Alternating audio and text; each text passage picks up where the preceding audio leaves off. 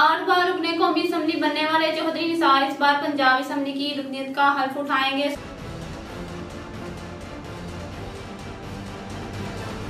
बाईस सीट का इलेक्शन जीतने के तीन साल बाद चौधरी निसार सियासत में सरगर्म होंगे।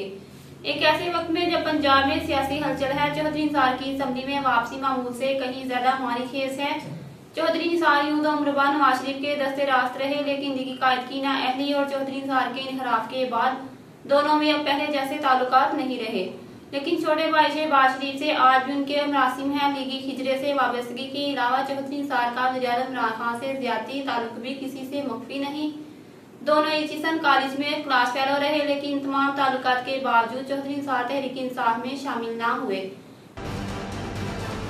शहबाज शरीफ और बेटी की जमानत पर हाई बुजदार हुकूमत पर जहांगीर ग्रुप का बढ़ता दबाव। अगर किसी सियासी बुहरान का सबब बना तो बजट के बाद शहबाज शरीफ की अमलियत और मुफाहमत पसंद पंजाब में सियासी तब्दीली का घोड़ा चौधरी निसार के नाम निकाल सकती है।